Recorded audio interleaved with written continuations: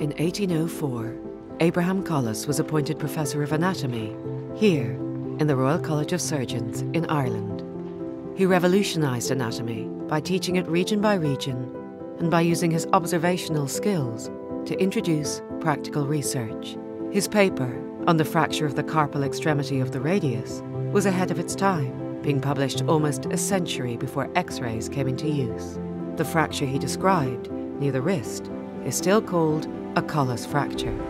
Where once Abraham Colles discovered and documented a unique fracture, now we are making the next great leap, and the department he once headed is pioneering cutting edge research in regenerative medicine.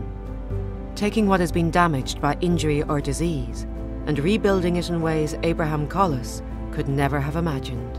The Tissue Engineering Research Group, where investigators with expertise across biomaterials, bioengineering, drug delivery, clinical medicine, and surgery, is focusing on the development of materials that mimic and stimulate the growth of human tissue.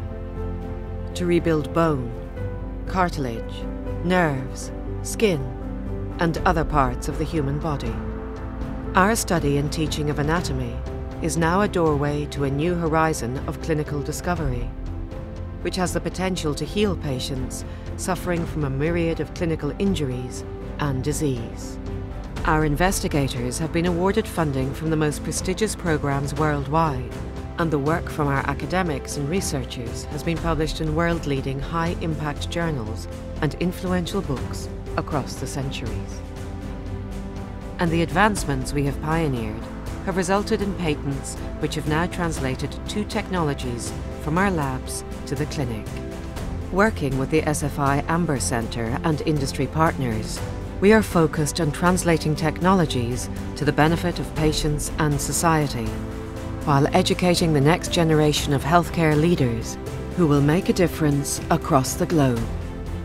This storied line of history, from the early innovations of Abraham Colles in the Department of Anatomy to the research we undertake today, reinforces what makes RCSI truly unique an education and research institution steeped in heritage, driving cutting edge research in regenerative medicine worldwide.